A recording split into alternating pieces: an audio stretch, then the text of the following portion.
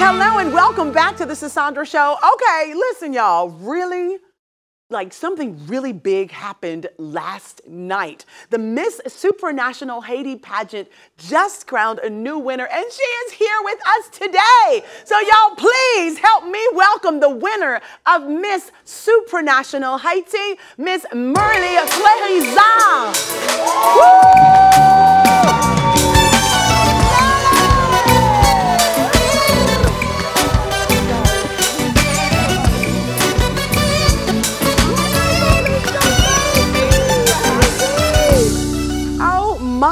Goodness, you know I have to say sac passe. Not bulle. I appreciate it. How are you of course, today? I am wonderful. Thank you. How about you? I'm doing well. I'm just getting over all of the excitement of being crowned. When- I still feel it. Oh my goodness, I'm feeling it for you right now. Yes. You just got crowned last night. Last night. The energy is still flowing off of you. Congratulations. Y'all give it up. Come on. This is major. That is major. That is major. So, could you please tell us what is the process of being in a pageant? Well, typically the process starts with registration. So for Miss Supranational Haiti, they have a registration process. You apply, Mm-hmm. you're chosen, you go through various interviews, and if you make it to the top, then you take part into, in the pageant.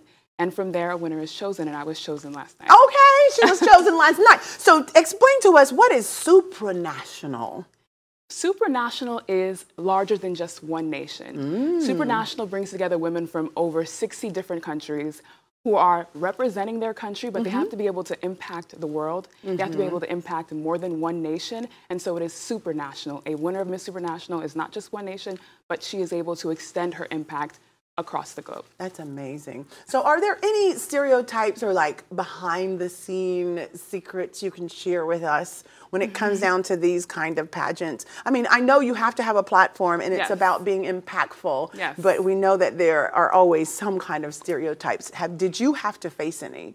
Absolutely. I think people assume that pageant women are not intelligent. Why would they think that? Unfortunately, I think women in general, when they present themselves well, when they're polished, when they take a lot of time to improve their appearance, mm-hmm. people think they're not also devoting that time to their education or to helping their communities and, their societies. But every pageant girl, particularly in Miss Supranational mm-hmm. Haiti, they were educated women, college educated women. Mm-hmm. They had a platform, a nonprofit that they worked with, or a nonprofit that they started on their own because they were looking to impact their community and they were looking to make Haiti a better place. I love it. And it's so all about black, looks. beautiful, and brilliant. Yes. That's what I say all the time. And you can tell when you sit here, you talk to us, we do need to make sure that we are presentable. Absolutely. But baby, the brains are working. Y'all know what I'm saying? Yes. The brains are working. so did you do the ugly cry when you won last Absolutely night? Absolutely not. Abs- absolutely not. You didn't ruin your mascara? Never, never, never, Never. never, I had to keep it cute, but I definitely felt the emotion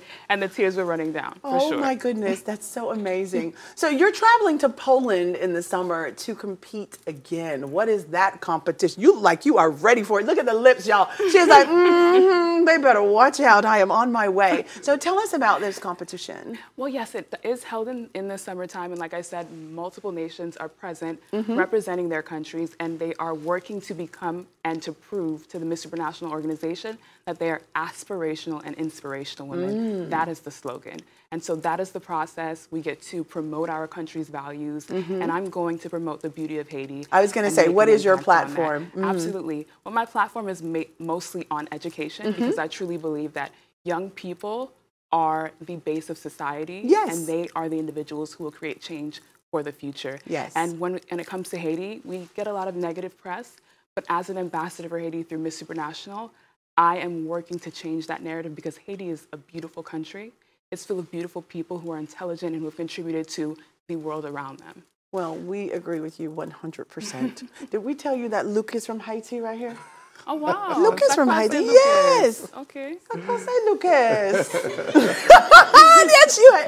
Your accent is so beautiful. Listen, so I hear a lot of things about modeling, especially for little girls as well. In your opinion, what is a good age to begin pageantry? And what age did you start?